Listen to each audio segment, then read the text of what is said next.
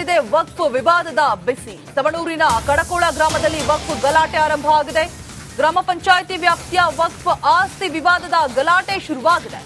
ಉದ್ರಿಕ್ತರಿಂದ Muslim ಮುಖಂಡರ ಮನೆ ಮೇಲೆ ಕಲ್ಲು ತೂರಾಟವನ್ನ ನಡೆಸಲಾಗ್ತಾ ಇದೆ.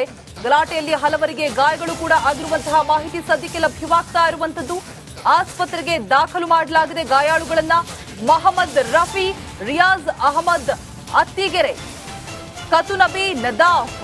ಮೌಲಾ ಸಾಬ್ ನದಾಫ್ ಹಾಗೆ ಮೆಹಬೂಬಾ ಎಂಬುವವರಿಗೆ ಆಸ್ಪತ್ರೆಯಲ್ಲಿ ಸದ್ಯಕ್ಕೆ ಚಿಕಿತ್ಸೆಯನ್ನ ಕೊಡಿಸಲಾಗ್ತಾ ಇದೆ ಈಗ ಹಾವೇರಿಗೂ ಕೂಡ ತಟ್ಟಿರುವಂತದ್ದು ವಕ್ಫ್ ಬಸಿ ವಕ್ಫ್ ಸಂಸ್ಥೆ ಹೆಸರಲ್ಲಿ ಖಾತೆ ಇಂದಿರೀಕರಣಕ್ಕೋಸ್ಕರ ವಿರೋಧ ಕೂಡ ವ್ಯಕ್ತವಾಗಿತ್ತು ವಕ್ಫ್ ಆಸ್ತಿ ಪರಭಾಷೆ ನಿಷೇಧ ಅಂತ ಲಾಗ್ಗೆ ಪಿಡಿಒಗಳಿಗೆ ಆದೇಶ ಕೂಡ ಹೊರಡಿಸಲಾಗಿದೆ ಸರ್ಕಾರದ ನಡೆಯಿಂದ ಆಕ್ರೋಶಗೊಂಡು ಗಲಾಟೆಯನ್ನ ಮಾಡಲಾಗಿದೆ ಮನೆಯ ಖಾತೆಗಳಲ್ಲೂ ಕೂಡ ವಕ್ಫ್ ಹೆಸರಿನ ಆತಂಕದಲ್ಲಿ ಗಲಾಟೆಯನ್ನು ಮಾಡಲಾಗಿದೆ. ಇನ್ನು ಗ್ರಾಮಕ್ಕೆ ರಾತ್ರೋರಾತ್ರಿ ಹಾವೇರಿಯ ಡಿಸಿ ಎಸ್ಪಿ ದೌಡಾಯಿಸಿದ್ದಾರೆ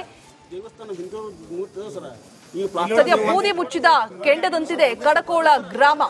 ಗಲಾಟೆಯಲ್ಲಿ ಐದು ಜನರಿಗೆ ಗಾಯವಾಗಿದ್ದು ಹದಿನೈದು ಮಂದಿಯನ್ನ ವಶಕ್ಕೆ ಪಡೆದುಕೊಂಡಿದೆ ಖಾಕಿ ಪಡೆ ದೃಶ್ಯಾವಳಿಗಳಲ್ಲಿ ಗಮನಿಸ್ತಾ ಇರಬಹುದು ಮನೆಗೆ ಕಲ್ಲು ತೂರಾಟವನ್ನು ನಡೆಸಿದ್ದಾರೆ.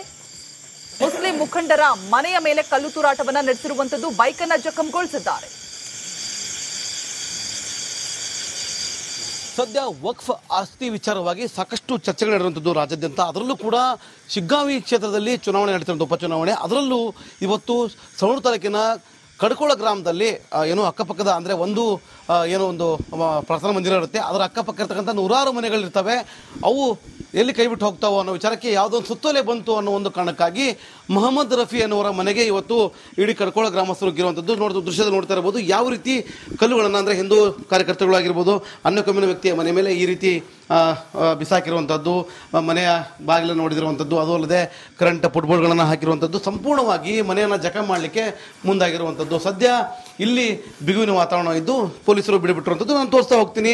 ಬಲಭಾಗ ನೋಡ್ತಿದ್ದು ದೊಡ್ಡ ದೊಡ್ಡ ಗಾತ್ರದ ಕಲ್ಲುಗಳನ್ನು ಈಗಾಗಲೇ ಬಿಸಾಡಿದ್ದಾರೆ ಅಂತ ಹೇಳ್ಬೋದು ಜನರು. ಯಾಕಂತಂದರೆ ವಕ್ಫೋರ್ಡ್ ಆಸ್ತಿ ವಿಚಾರ ಯಾವಾಗಲೂ ಸದ್ದು ಮಾಡ್ತು. ಆ ಸದ್ದಾದ ನಂತರ ಜನರಿಗೆ ಎಲ್ಲಿ ನಮ್ಮ ಆಸ್ತಿ ಕೈಬಿಟ್ಟು ಹೋಗುತ್ತೋ ಅನ್ನೋ ಒಂದು ವಿಚಾರ. ಅಂದರೆ ಹಳ್ಳಿಗಡೆ ಜನರಿಗೆ ಅಷ್ಟೊಂದು ಬುದ್ಧಿ ಇರೋ ಇರುವಂಥ ವ್ಯವಸ್ಥೆ ಇಲ್ಲಿ. ನೋಡ್ತಾ ಇರೋದು ಗ್ಲಾಸನ್ನು ನೋಡಿದಿರ್ಬೋದು. ಮನೆಯ ಗ್ಲಾಸನ್ನು ಕಿಟಕಿಗಳನ್ನು ಸಂಪೂರ್ಣವಾಗಿ ಜಖಂ ಮಾಡಿದ್ರ ಅಂತ ಹೇಳ್ಬೋದು.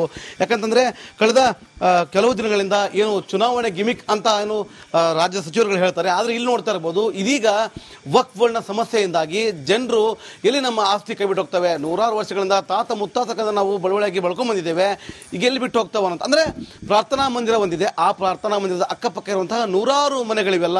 ಈ ಮನೆಗಳು ಎಲ್ಲಿ ಕೈ ಬಿಟ್ಟು ಹೋಗ್ತಾವ ಅನ್ನೋ ಒಂದು ವಿಚಾರಕ್ಕಾಗಿ ಮೊಹಮ್ಮದ್ ರಫಿ ಎನ್ನುವ ವ್ಯಕ್ತಿಯ ಮನೆ ಮುಂದೆ ಒಂದು ದಾಂಧಲೆ ನಡೆಸಿರುವಂಥದ್ದು ಅನ್ಯಕೊಮ್ಮಿನ ಮನೆಯ ಮುಂದೆ. ಇಲ್ಲಿ ನೋಡ್ತಿರ್ಬೋದು ಅವರ ಬೈಕನ್ನು ಕೂಡ ಸಂಪೂರ್ಣವಾಗಿ ಗ್ರಾಮಸ್ಥರು ಜಖ ಮಾಡಿರುವಂಥದ್ದು. ಎಲ್ಲಿ ನಮ್ಮ ಆಸ್ತಿ ಕೈ ಬಿಟ್ಟು ಹೋಗುತ್ತೋ ಅನ್ನೋ ಒಂದು ಭಯದಲ್ಲಿ ಈ ಒಂದು ಕೃತ್ಯವನ್ನು ನಡೆಸಿರುವಂಥದ್ದು.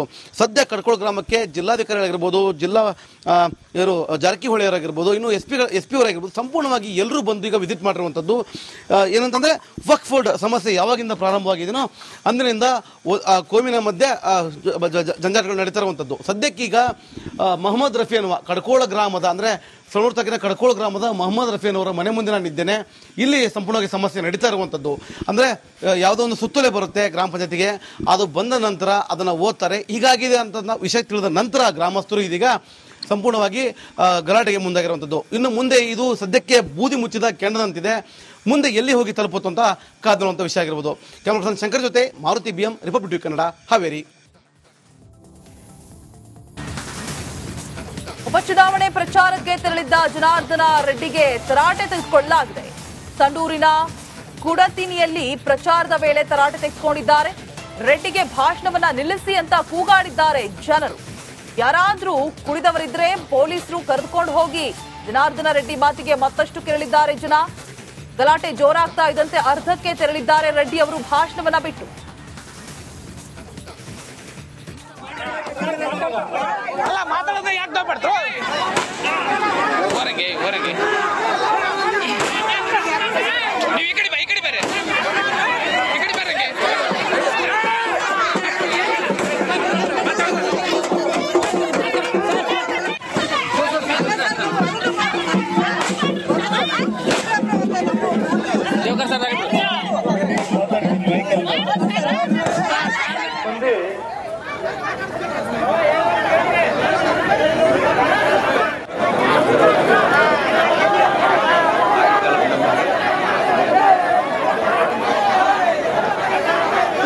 ನೋವು ನನಗೆ ಗೊತ್ತಾಗಿದೆ ನನಗೆ. ಏನು ನಿಮಗೆ ನಾನು ಬಳ್ಳಾರಿ ಬಿಟ್ಟು ಹೋದ್ಮೇಲೆ ಹದಿನಾಲ್ಕು ವರ್ಷಗಳಿಂದ ಕೂಡ ನಿಮಗೇನು ಅನ್ಯಾಯ ಆಗಿದೆ? ನಿಮಗೇನು ನೋವಾಗಿದೆ? ಪಾಪ ಯಾರಾದ್ರೂ ಕುಡ್ದವ್ರು ಇದ್ರೆ ಪೊಲೀಸರು ಕರ್ಕೊಂಡು ಹೋಗ್ರಿಮ್ಮ ಯಾರಾದ್ರೂ ಕುಡ್ದಿದ್ರೆ ಪೊಲೀಸರು ಇಲ್ಲಿಂದ ಕರ್ಕೊಂಡು ಹೋಗ್ರಿ. ಮಾತಾಡೋದನ್ನ ಪೂರ್ತಿ ಕೇಳಿ ಆಮೇಲೆ ಯಾರಾದ್ರೂ ಮಾತಾಡಲಿ ಅಷ್ಟೇ ಹಾವೇರಿ ಜಿಲ್ಲೆಗೂ ತಟ್ಟಿದೆ ವಕ್ಫ್ ವಿವಾದದ ಬಿಸಿ. ತವಣೂರಿನ ಕಡಕೋಳ ಗ್ರಾಮದಲ್ಲಿ ವಕ್ಫ್ ಗಲಾಟೆ ಆರಂಭ ಆಗಿದೆ. ಗ್ರಾಮ ಪಂಚಾಯಿತಿ ವ್ಯಾಪ್ತಿಯ ವಕ್ಫ್ ಆಸ್ತಿ ವಿವಾದದ ಗಲಾಟೆ ಶುರುವಾಗಿದೆ. ಉದ್ರಿಕ್ತರಿಂದ ಮುಸ್ಲಿಂ ಮುಖಂಡರ ಮನೆ ಮೇಲೆ ಕಲ್ಲು ತೂರಾಟವನ್ನ ನಡೆಸಲಾಗ್ತಾ ಇದೆ. ಗಲಾಟೆಯಲ್ಲಿ ಹಲವರಿಗೆ ಗಾಯಗಳು ಕೂಡ ಆಗಿರುವಂತಹ ಮಾಹಿತಿ ಸದ್ಯಕ್ಕೆ ಲಭ್ಯವಾಗ್ತಾ ಇರುವಂತದ್ದು. ಆಸ್ಪತ್ರೆಗೆ ದಾಖಲು ಮಾಡಲಾಗಿದೆ ಗಾಯಾಳುಗಳನ್ನ ಮೊಹಮ್ಮದ್ ರಫಿ ರಿಯಾಜ್ ಅಹಮದ್ ಅತ್ತಿಗೆರೆ ಕತುನಬಿ ನದಾಫ್ ಮೌಲಾ ಸಾಬ್ ನದಾಫ್ ಹಾಗೆ ಮೆಹಬೂಬಾ ಎಂಬುವವರಿಗೆ ಆಸ್ಪತ್ರೆಯಲ್ಲಿ ಸದ್ಯಕ್ಕೆ ಚಿಕಿತ್ಸೆಯನ್ನ ಕೊಡಿಸಲಾಗ್ತಾ ಇದೆ. ಈಗ ಹಾವೇರಿಗೂ ಕೂಡ ತಟ್ಟಿರುವಂತದ್ದು ವಕ್ಫ್ ಬಸಿ ವಕ್ಫ್ ಸಂಸ್ಥೆ ಹೆಸರಲ್ಲಿ ಖಾತೆ ಇಂದಿರೀಕರಣಕ್ಕೋಸ್ಕರ ವಿರೋಧ ಕೂಡ ವ್ಯಕ್ತವಾಗಿತ್ತು. ವಕ್ಫ್ ಆಸ್ತಿ ಪರಭಾಷೆ ನಿಷೇಧ ಅಂತ ಲಾಗ್ಗೆ ಪಿಡಿಒಗಳಿಗೆ ಆದೇಶ ಕೂಡ ಹೊರಡಿಸಲಾಗಿದೆ. ಸರ್ಕಾರದ ನಡೆಯಿಂದ ಆಕ್ರೋಶಗೊಂಡು ಗಲಾಟೆಯನ್ನ ಮಾಡಲಾಗಿದೆ. ಮನೆಯ ಖಾತೆಗಳಲ್ಲೂ ಕೂಡ ವಕ್ಫ್ ಹೆಸರಿನ ಆತಂಕದಲ್ಲಿ ಗಲಾಟೆಯನ್ನ ಮಾಡಲಾಗಿದೆ. ಇನ್ನು ಗ್ರಾಮಕ್ಕೆ ರಾತ್ರೋರಾತ್ರಿ ಹಾವೇರಿಯ ಡಿಸಿ ಎಸ್ಪಿ ದೌಡಾಯಿಸಿದ್ದಾರೆ. ಸದ್ಯ ಬೂದಿ ಮುಚ್ಚಿದ ಕೆಂಡದಂತಿದೆ ಕಡಕೋಳ ಗ್ರಾಮ. ಗಲಾಟೆಯಲ್ಲಿ ಐದು ಜನರಿಗೆ ಗಾಯವಾಗಿದ್ದು ಹದಿನೈದು ಮಂದಿಯನ್ನ ವಶಕ್ಕೆ ಪಡೆದುಕೊಂಡಿದೆ ಖಾಕಿ ಪಡೆ.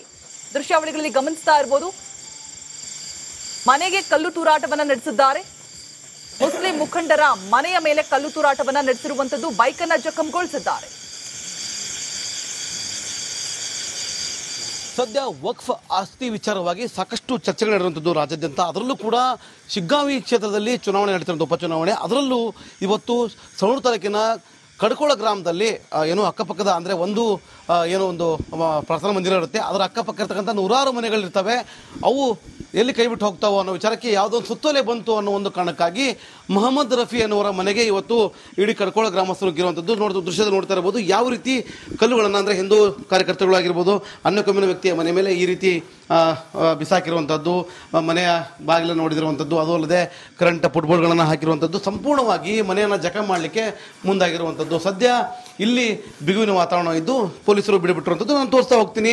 ಬಲಭಾಗ ನೋಡ್ತದ್ದು ದೊಡ್ಡ ದೊಡ್ಡ ಗಾತ್ರದ ಕಲ್ಲುಗಳನ್ನು ಈಗಾಗಲೇ ಬಿಸಾಡಿದ್ದಾರೆ ಅಂತ ಹೇಳ್ಬೋದು ಜನರು. ಯಾಕಂತಂದರೆ ವಕ್ ಫೋರ್ಡ್ ಆಸ್ತಿ ವಿಚಾರ ಯಾವಾಗಲೂ ಸದ್ದು ಮಾಡ್ತು. ಆ ಸದ್ದಾದ ನಂತರ ಜನರಿಗೆ ಎಲ್ಲಿ ನಮ್ಮ ಆಸ್ತಿ ಕೈ ಬಿಟ್ಟು ಹೋಗುತ್ತೋ ಅನ್ನೋ ಒಂದು ವಿಚಾರ. ಅಂದರೆ ಹಳ್ಳಿಗಡೆ ಜನರಿಗೆ ಅಷ್ಟೊಂದು ಬುದ್ಧಿ ಇರೋ ಇರುವಂಥ ವ್ಯವಸ್ಥೆ. ಇಲ್ಲಿ ನೋಡ್ತಿರ್ಬೋದು ಗ್ಲಾಸನ್ನು ನೋಡಿದಿರ್ಬೋದು. ಮನೆಯ ಗ್ಲಾಸನ್ನು, ಕಿಟಕಿಗಳನ್ನು ಸಂಪೂರ್ಣವಾಗಿ ಜಖಂ ಮಾಡಿದ್ದಾರೆ ಅಂತ ಹೇಳ್ಬೋದು. ಯಾಕಂತಂದರೆ ಕಳೆದ ಕೆಲವು ದಿನಗಳಿಂದ ಏನು ಚುನಾವಣೆ ಗಿಮಿಕ್ ಅಂತ ಏನು ರಾಜ್ಯ ಸಚಿವರುಗಳು ಹೇಳ್ತಾರೆ. ಆದರೆ ಇಲ್ಲಿ ನೋಡ್ತಾ ಇರ್ಬೋದು ಇದೀಗ ವಕ್ಫ್ ಸಮಸ್ಯೆಯಿಂದಾಗಿ ಜನರು ಎಲ್ಲಿ ನಮ್ಮ ಆಸ್ತಿ ಕೈ ಬಿಟ್ಟು ಹೋಗ್ತವೆ? ನೂರಾರು ವರ್ಷಗಳಿಂದ ತಾತ ಮುತ್ತಾತಕದ ನಾವು ಬಳುವಳಿಯಾಗಿ ಬಳ್ಕೊಂಡು ಬಂದಿದ್ದೇವೆ. ಈಗ ಎಲ್ಲಿ ಬಿಟ್ಟು ಹೋಗ್ತಾವ ಅಂತ. ಅಂದರೆ ಪ್ರಾರ್ಥನಾ ಮಂದಿರ ಒಂದಿದೆ. ಆ ಪ್ರಾರ್ಥನಾ ಮಂದಿರದ ಅಕ್ಕಪಕ್ಕ ಇರುವಂತಹ ನೂರಾರು ಮನೆಗಳಿವೆಲ್ಲ ಈ ಮನೆಗಳು ಎಲ್ಲಿ ಕೈ ಬಿಟ್ಟು ಹೋಗ್ತಾವ ಅನ್ನೋ ಒಂದು ವಿಚಾರಕ್ಕಾಗಿ ಮೊಹಮ್ಮದ್ ರಫಿ ಎನ್ನುವ ವ್ಯಕ್ತಿಯ ಮನೆ ಮುಂದೆ ಒಂದು ದಾಂಧಲೆ ನಡೆಸಿರುವಂಥದ್ದು. ಅನ್ನಕೊಮ್ಮಿನ ಮನೆಯ ಮುಂದೆ. ಇಲ್ಲಿ ನೋಡ್ತಿರ್ಬೋದು ಅವರ ಬೈಕನ್ನು ಕೂಡ ಸಂಪೂರ್ಣವಾಗಿ ಗ್ರಾಮಸ್ಥರು ಜಖ ಮಾಡಿರುವಂಥದ್ದು. ಎಲ್ಲಿ ನಮ್ಮ ಆಸ್ತಿ ಕೈ ಬಿಟ್ಟು ಹೋಗುತ್ತೋ ಅನ್ನೋ ಒಂದು ಭಯದಲ್ಲಿ ಈ ಒಂದು ಕೃತ್ಯವನ್ನು ನಡೆಸಿರುವಂಥದ್ದು ಸದ್ಯ ಕಡ್ಕೋಳ ಗ್ರಾಮಕ್ಕೆ ಜಿಲ್ಲಾಧಿಕಾರಿಗಳಾಗಿರ್ಬೋದು, ಜಿಲ್ಲಾ ಇವರು ಜಾರಕಿಹೊಳಿ ಅವರಾಗಿರ್ಬೋದು ಇನ್ನು ಎಸ್ ಪಿ ಎಸ್ ಪಿ ಅವರಾಗಿರ್ಬೋದು ಸಂಪೂರ್ಣವಾಗಿ ಎಲ್ಲರೂ ಬಂದು ಈಗ ವಿಸಿಟ್ ಮಾಡಿರುವಂಥದ್ದು ಏನಂತಂದರೆ ವಕ್ ಫೋರ್ಡ್ ಸಮಸ್ಯೆ ಯಾವಾಗಿಂದ ಪ್ರಾರಂಭವಾಗಿದೆಯೋ ಅಂದಿನಿಂದ ಕೋವಿನ ಮಧ್ಯೆ ಜಂಜಾಟಗಳು ನಡೀತಾ ಇರುವಂಥದ್ದು ಸದ್ಯಕ್ಕೀಗ ಮೊಹಮ್ಮದ್ ರಫಿ ಅನ್ನುವ ಕಡ್ಕೋಳ ಗ್ರಾಮದ, ಅಂದರೆ ತಗ್ಗಿನ ಕಡ್ಕೋಳ ಗ್ರಾಮದ ಮೊಹಮ್ಮದ್ ಅವರ ಮನೆ ಮುಂದೆ ನಾನು ಇದ್ದೇನೆ. ಇಲ್ಲಿ ಸಂಪೂರ್ಣವಾಗಿ ಸಮಸ್ಯೆ ನಡೀತಾ ಇರುವಂಥದ್ದು ಅಂದರೆ ಯಾವುದೋ ಒಂದು ಸುತ್ತೋಲೆ ಬರುತ್ತೆ ಗ್ರಾಮ ಪಂಚಾಯತಿಗೆ. ಅದು ಬಂದ ನಂತರ ಅದನ್ನು ಓದ್ತಾರೆ. ಹೀಗಾಗಿದೆ ಅಂತ ವಿಷಯ ತಿಳಿದ ನಂತರ ಗ್ರಾಮಸ್ಥರು ಇದೀಗ ಸಂಪೂರ್ಣವಾಗಿ ಗಲಾಟೆಗೆ ಮುಂದಾಗಿರುವಂಥದ್ದು ಇನ್ನು ಮುಂದೆ ಇದು ಸದ್ಯಕ್ಕೆ ಬೂದಿ ಮುಚ್ಚಿದ ಕೆಂಡದಂತಿದೆ. ಮುಂದೆ ಎಲ್ಲಿ ಹೋಗಿ ತಲುಪುತ್ತಂತ ಕಾದಿರುವಂಥ ವಿಷಯ ಆಗಿರ್ಬೋದು. ಕ್ಯಾಮ್ರಾ ಪರ್ಸನ್ ಶಂಕರ್ ಜೊತೆ Maruti B M Republic Kannada, Haveri.